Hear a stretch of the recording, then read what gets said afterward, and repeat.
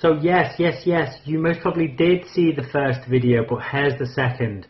Um, what we're trying to do, guys, we're trying to get you informed. We're trying to give you the information that you need to make informed decisions in your business. I speak to so many businesses around this area who, who do not know where they're going or what they want to do with the change in the people who are coming into this area, with the change in demographic, with the change in findability and how people are finding you, with the, it's just constantly moving. You need to be up to date.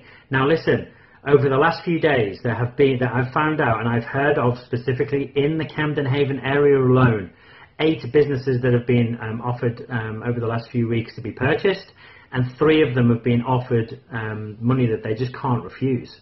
I mean, these people are here. They are here.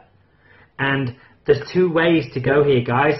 It's about maximizing the opportunity that's right here, right now, and how you can maximize that to get exactly what you need and have a booming business. Or in a changing area, I mean, it's, it's moving so fast or it might be that you that you've decided that look, it's just not for you, and you don't want to keep up with this. You're just tired and you want to move on. How do you make that decision and then and then make sure that you maximize your opportunity, that you maximize the dollar value, and prepare and get ready, so that firstly you can maximize that, that these people can then find you, and then what they see they like, so that they can then put in an offer and hopefully give you an offer you cannot refuse. Monday night six oh sorry 5:30 to 7:30 Club North Haven guys do not miss it. Click on the book now button have a look.